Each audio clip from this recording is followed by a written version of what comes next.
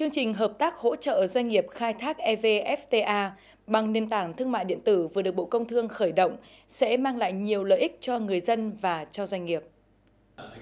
Phát biểu tại lễ ra mắt chương trình hợp tác hỗ trợ doanh nghiệp khai thác EVFTA bằng nền tảng thương mại điện tử, lãnh đạo Bộ Công Thương khẳng định Hiệp định Thương mại Tự do Việt Nam Liên minh châu Âu EVFTA đã có hiệu lực từ ngày 1 tháng 8 năm 2020. Việt Nam là quốc gia đang phát triển đầu tiên ở khu vực châu Á-Thái Bình Dương ký FTA với EU. Hiệp định này được ví như tuyến đường cao tốc đã mở ra đối với cả Việt Nam và EU, nhất là doanh nghiệp hai nước.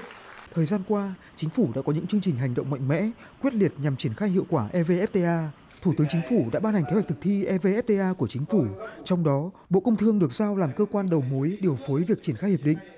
Thương mại điện tử Việt Nam năm 2020 tăng trưởng 18%, đạt quy mô hơn 11 tỷ đô la Mỹ. Người dân có thể mua sắm hầu hết mọi thứ mà không cần phải đến siêu thị. Việc hoàn thiện nền tảng sàn thương mại điện tử dành cho doanh nghiệp Made in Việt Nam hướng tới xuất nhập khẩu là giải pháp tích hợp với các hệ thống của các cơ quan liên quan nhằm tạo điều kiện thuận lợi tối đa cho doanh nghiệp vươn ra thị trường thế giới.